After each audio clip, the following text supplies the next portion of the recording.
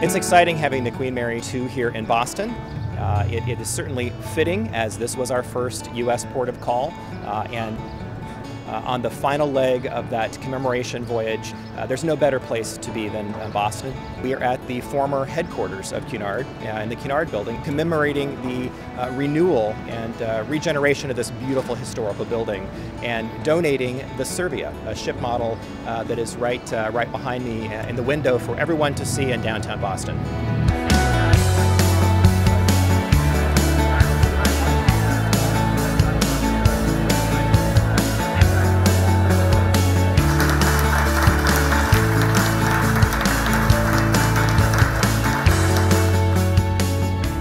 Who would have thought that 175 years on, here we are in Boston again with Queen Mary 2, uh, providing that same scheduled passenger service as uh, Samuel Cunard envisaged all those years ago.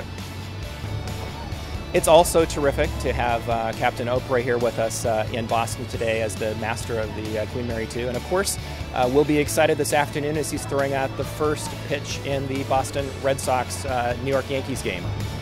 Uh, and so this is a time to celebrate our past and certainly to also celebrate uh, our future